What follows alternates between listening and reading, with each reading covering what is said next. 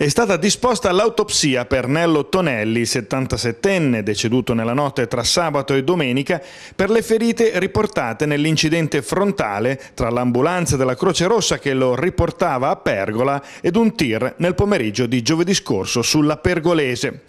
L'uomo, molto conosciuto in paese, idraulico in pensione, era ricoverato all'ospedale di Pesaro ed i sanitari non lo ritenevano in pericolo di vita, nonostante la brutta frattura al femore sinistro, riportata per il ribaltamento del mezzo.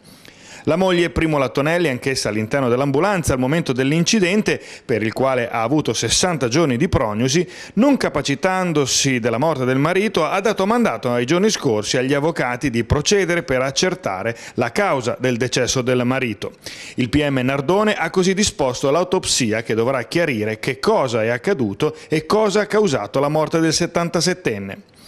Al momento risultano ancora stazionarie le condizioni dell'autista dell'ambulanza, Moreno Mancini, di 60 anni, tenuto in coma farmacologico al Torrette di Ancona, dove è raggiunto giovedì scorso in eliambulanza.